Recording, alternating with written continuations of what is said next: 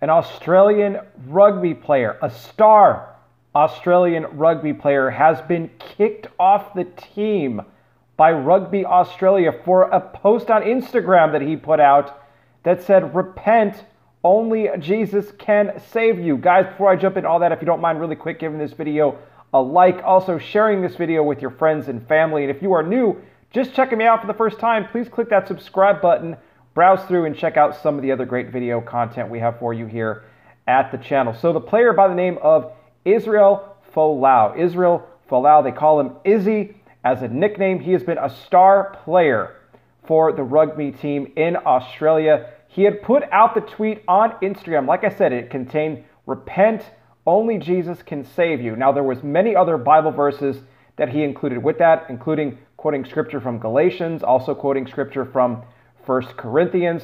He talked about the different sins that you need to repent for, and among those sins, he listed homosexuality, lying, hatred, so on and so forth.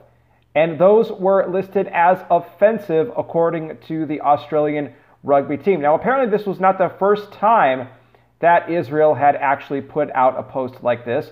So they said that due to that, due to the fact that he's going to continue to go against what the team has said, they said he is in direct violation of the code of ethics. They are doing away with his contract entirely. And he is probably one of the best players on that team, but they don't care. They want him completely off. The material they said, it's too offensive to say that people are sinners and only Jesus can save them. Nope, I'm sorry, we cannot have you on the team. That is hurtful content, hurtful material that you are posting on Instagram. Well, the post got over 40,000 likes from various supporters of Israel. In fact, he doubled down on the post. He said, Look, in lieu of what happened, I'm going to continue serving God no matter what. First and foremost, he said, I want to do what God wants me to do. He says, and if that's to continue playing rugby, then I'll continue playing rugby. If it's to do something else, then I'll do something else.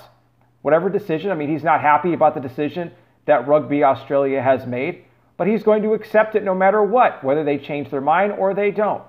He is content in serving the Lord. He even was at a church service in Sydney, Australia on Sunday where he even talked about how Jesus said that we would be persecuted for his name's sake, that we would be hated by people for being his followers. So he says it doesn't come as too big of a surprise to him that this has happened, but he has gotten a lot of support from people on social media, continuing, encouraging him to continue doing what he's doing, serving the Lord. But Christian persecution, guys, we can expect this to continue. We are, in fact, living in the last days. I'll put the link below, guys, if you want to read up more. You can read the entire post that Israel had on Instagram. So I'll put that in the description below. You guys can check it out there. As always, thank you guys so much for all of your support and for spending a couple of minutes of your day with me today. I'll be back with more. You guys take care. Please be safe out there. God bless each and every single one of you, and I will talk with you soon.